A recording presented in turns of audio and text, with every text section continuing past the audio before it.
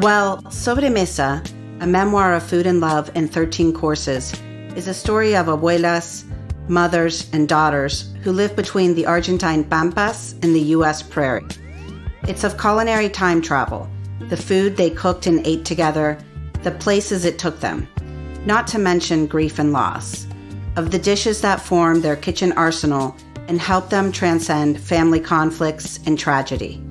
Sobremesa is of romances gone south and family secrets buried, meal after meal under freshly starched and pressed linens. It's equally a story about belonging to oneself, to two countries, to the legions of ghosts and ancestors who are always at the ready to be conjured back in mind through taste and smell. Sobremesa is about second and third chances. It's my story.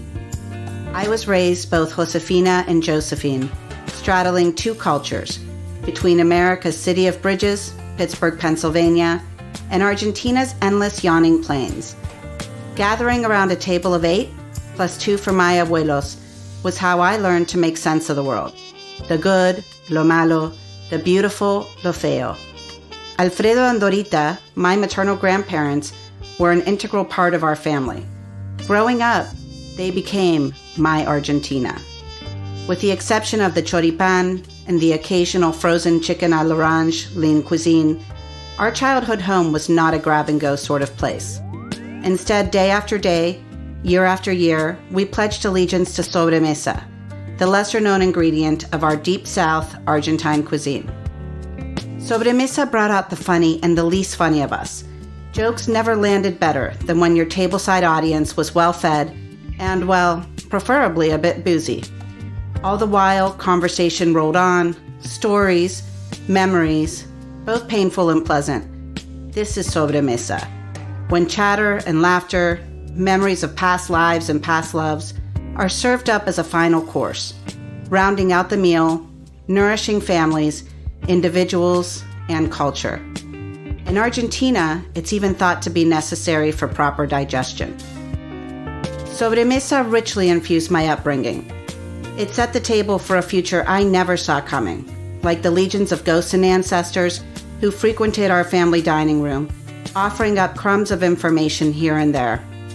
Morsel by morsel, I savored each moment until they became imprinted on my taste buds.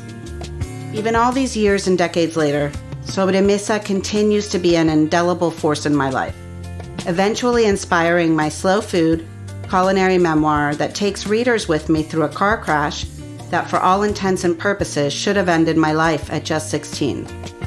A devastating heartbreak in my early 20s that upended my world and led me back to the home I never knew on the riverbank of El Rio de la Plata.